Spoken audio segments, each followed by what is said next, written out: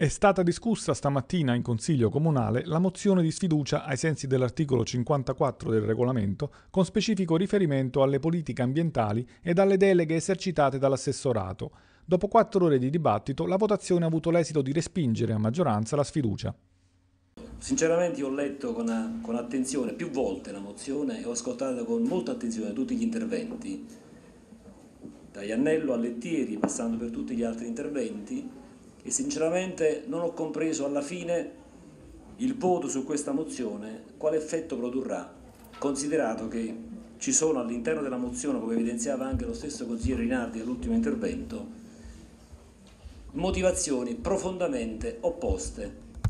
radicalmente opposte sulle scelte strategiche che questa amministrazione ha assunto sulle politiche ambientali. E quindi io credo che con quello spirito noi dobbiamo guardare, nella chiarezza dei rapporti. Credo che il messaggio che deve uscire da questo Consiglio Comunale è quello della chiarezza e che ci sia un voto che sia un voto chiaro, leggibile a tutti i cittadini napoletani.